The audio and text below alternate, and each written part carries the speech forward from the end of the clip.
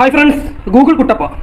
ഈ ചിത്രം എല്ലാവർക്കും അറിയുന്ന കാര്യമാണ് മലയാള സിനിമയുടെ റീമേക്ക് ആണ്. രണ്ടായിരത്തി പത്തൊമ്പതിൽ ഇറങ്ങിയ ആൻഡ്രോയിഡ് കുഞ്ഞപ്പന്റെ റീമേക്ക് ആണ് ഈ ഗൂഗിൾ കുട്ടപ്പ എന്ന് പറയുന്ന പടം.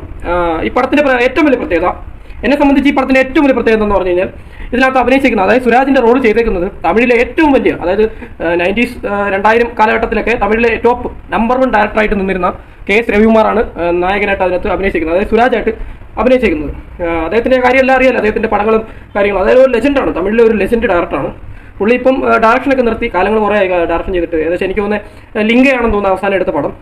അതിനുശേഷം പടങ്ങളൊന്നും എടുത്തിട്ടില്ല. ഇപ്പോൾ സിനിമ അഭിനയത്തിന് ഇറങ്ങിയേക്കുവാണ്. സുരാജ് ലെവലൊന്നും അഭിനയിച്ചിട്ടില്ല അഭിനയിച്ചിട്ടുണ്ടെന്ന് ഞാൻ പറയുന്നില്ല. കാരണം സുരാജ് എന്ന് പറഞ്ഞാൽ നാഷണൽ അവാർഡ് വാങ്ങിച്ച നടനാണ്. മലയാളത്തിൽ തന്നെ ഇപ്പോഴത്തെ ഒരു വലിയൊരു ഒരു പിനോമിനൽ ആക്ടറാണ് അപ്പം ആ, ഒരു സാഹചര്യം ഇരിക്കുമ്പോൾ കെ എസ് രവികുമാർ ആ ലെവലിൽ പെർഫോമൻസ് ചെയ്തതെന്ന് ഒരിക്കലും പറയുന്നില്ല. എന്നാലും കെ എസ് രവികുമാർ എന്ന നടൻ ഇപ്പോഴത്തെ നടന്റെ ലെവൽ വെച്ച് അദ്ദേഹം നന്നായിട്ട് ചെയ്തിട്ടുണ്ട്. അതായത് അദ്ദേഹത്തിന്റെ ലെവലിനേക്കാൾ മുകളിൽ ചെയ്തിട്ടുണ്ട്. മാക്സിമം അയാൾ എന്തോ ചെയ്യാൻ പറ്റുന്നുണ്ടോ ചെയ്തിട്ടുണ്ട്.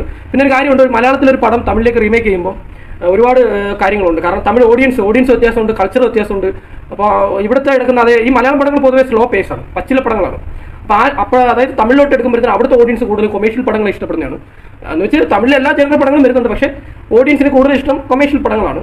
നല്ല ക്വാളിറ്റിയിലുള്ള കൊമേഴ്ഷ്യൽ പടങ്ങൾ. എന്ന് വെച്ചാൽ വെറുതെ അട്ടർ കൊള്ളാത്ത പടങ്ങളൊന്നുമല്ല. കൊമേഴ്ഷ്യൽ പടങ്ങളാണ് അപ്പം ആ ഒരു രീതിയിലോട്ട് ഒരു മാറ്റം വരുത്തണം. പക്ഷേ ഈ ഡയറക്ടർ ഡയറക്ടർമാർ രണ്ടുപേരാണ് ചെയ്തേക്കുന്നത്. ഡയറക്ടർമാർ മാറ്റമൊന്നും വരുത്തിയിട്ടില്ല. അതായത് സ്ലോ പേസിൽ തന്നെയാണ് എടുത്തേക്കുന്നത്. അതായത് തമിഴ് ഓഡിയൻസിന് വേണം വെച്ചിട്ട് പടത്തിന് സ്പീഡ് കൂട്ടിയിട്ടുണ്ടെന്നോ അങ്ങനെയൊന്നുമില്ല നോർമൽ സ്ലോ പേസിൽ തന്നെയാണ് എടുത്തേക്കുന്നത്. പക്ഷേ മലയാള സിനിമ എന്ന് പറഞ്ഞു കഴിഞ്ഞാൽ മലയാള സിനിമ നമുക്ക് കാണുമ്പോൾ ഇച്ചിരി ഒരു അറ്റാച്ച്മെന്റ് തോന്നും. ഇമോഷണലി നമുക്ക് ആ പടമായിട്ട് ഒരു അറ്റാച്ച്മെന്റ് തോന്നും. ഇത് just science fiction comedy general തന്നെ അവിടെ എടുത്തേക്കുന്നത്. പക്ഷേ ഇച്ചിരി എന്റർടൈനർ ആയിട്ട് എടുത്തേക്കുന്നത്. ഒരു കൂടുതലും കൂടെ എന്റർടൈനർ അതായത് നമ്മളെ ഒരു ഇമോഷണലി ടച്ച് ആക്കാതെ ഒരു ഒരു കോമഡി എന്റർടൈനർ എങ്ങനെ എടുക്കുന്നു. ആ ഈ ഒരു കൺസെപ്റ്റ് അതുപോലെ അവിടെ റീമേക്ക് ചെയ്ത് ഒരു കോമഡി എന്റർടൈനർ ആയിട്ട് ചെയ്തേക്കുന്നു. അത്രേ ഉള്ളൂ വ്യത്യാസം. അതായത് അതൊരു വലിയ വ്യത്യാസം തന്നെയാണ്. അത്ര ഉള്ള വ്യത്യാസം എന്ന് പറയുന്നില്ല. അതൊരു വലിയ വ്യത്യാസം തന്നെയാണ് അങ്ങനെ എടുക്കുന്നത്. മലയാളത്തിൽ അതാകുമ്പോൾ ഇച്ചിരി നമുക്കൊരു ഒരു ഇമോഷണലി നമുക്ക് ആ ഒരു സിനിമയുടെ ഫീൽ ഗുഡ് പോലെയാണ്. സയൻസ് ഫിക്ഷൻ കോമഡി പടമാണെങ്കിലും മലയാളം ഒരു ഫീൽ ഗുഡ് കൂടെ. പക്ഷേ അവിടെ നമുക്ക് ഫീൽ ഗുഡ് ആയിട്ട് തോന്നില്ല ഒരു കോമഡി എന്റർടൈൻ ആയിട്ട് എടുത്തുള്ളൂ. ഇതാണ് ഈ പടത്തിനകത്ത് റീമേക്ക് ചെയ്ത ഈ പടത്തിൽ എനിക്ക് ഏറ്റവും വലിയ വ്യത്യാസമായിട്ട് പറയാനുള്ളത്. പിന്നെ അഭിനയിച്ചിട്ടുള്ളവരും മ്യൂസിക്കും കാര്യങ്ങളും മേക്കിങ്ങും സ്റ്റൈലും എന്ന് പ്രത്യേകിച്ച് എടുക്കേണ്ട എടുത്ത് പറയേണ്ട കാര്യമൊന്നുമില്ല. അതൊക്കെ നോർമലായിട്ട് തന്നെ എടുത്തിട്ടുണ്ട്. ഇതിനകത്ത് അതായത് റോബോട്ടായിട്ട് അഭിനയിച്ച അവരും എല്ലാം നന്നായിട്ട് ചെയ്തിട്ടുണ്ട്. ഈ പടത്തിന്റെ വ്യത്യാസം ഇത് മാത്രമേ ഉള്ളൂ. മലയാള പടങ്ങൾ കണ്ടിട്ടുള്ളവർ എന്തായാലും ഇത് തമിഴ് പടങ്ങൾ കൂടുതൽ ആൾക്കാർ കാണാൻ നിൽക്കത്തില്ല. പക്ഷെ കാണണം താല്പര്യം താല്പര്യമുള്ള ഒരു ഒരു നല്ല വ്യത്യാസം ഉണ്ടല്ലോ. അതായത് തമിഴിൽ റീമേക്ക് ചെയ്യുമ്പോഴത്തേന് അതിനകത്തൊരു ഏത് പടമാണെങ്കിലും ഒരു കഥ എന്നാണെങ്കിലും ആഹ് വേറെ ആൾക്കാർ അഭിനയിക്കുമ്പോൾ നമുക്കത് കാണാൻ ഒരു വേറെ ഒരു രസമായിരിക്കും.